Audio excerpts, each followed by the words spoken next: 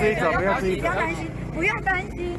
拨开手示意自己可以上车，他就是率领统促党营政党部的主委李家威。十一号下午，彰化检警持拘票南下嘉义拘提李家威和丈夫吴金虎两人。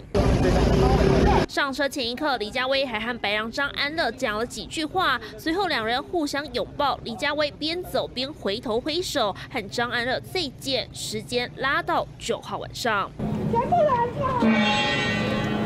假妈软脚经过民生地下道时，李佳薇扯开嗓子吼叫，带头冲，大姐头般的气势，一群人助阵向她靠拢，她及丈夫两人和白狼张安乐。颇有渊源。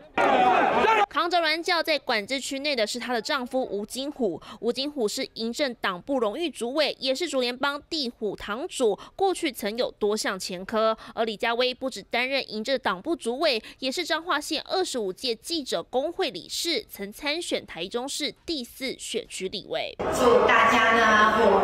年行大运。从董促党粉丝专业中，李家威拜年影片也秀出些许端倪，背景高挂统促党。旗帜，连字幕都选用简体字，以及党员们之间的聚会都不忘放上五星旗。这回又因为白狼张安乐的介入，引发统促党卷入染红宗教，盛世盈余。是有背后啊，有红色的势力介入。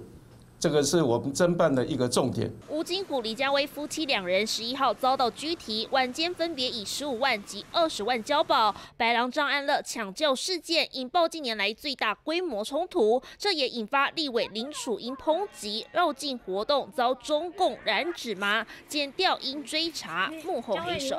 三选六国雄许淑为彰化嘉义采访报道。